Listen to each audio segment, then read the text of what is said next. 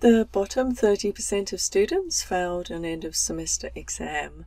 The mean for the test was 120 and the standard deviation was 17. What was the passing score?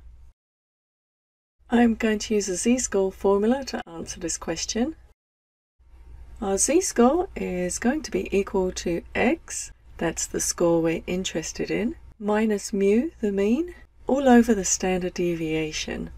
An equivalent version of the formula written in terms of x, the z-score, multiplied by sigma, add mu, the mean.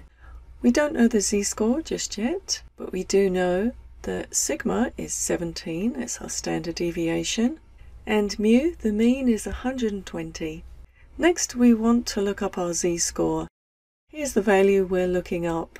We're told 30% of students failed. That must mean that 70% passed. So we're looking for this cutoff point here. In other words, we're going to look up a z-score that cuts off this left 30% of the distribution. In order to do that, we look in a z-table. There are a few versions of a z-table, so make sure you're looking at one that cuts off a point left of the z-score. We want to find the score that cuts off 30%, so look in the center of the table for the closest value you can find to 30%. The z-table is written in decimal and 30% is 0.3. This value here is the closest I can find to 0.3. It's in the negative 0.5 row.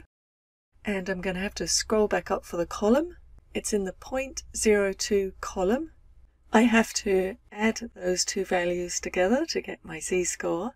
I get negative 0.52. The last thing I need to do is plug that z-value into my formula. Now I can solve for x on a calculator. x equals 111.16 and that is my solution.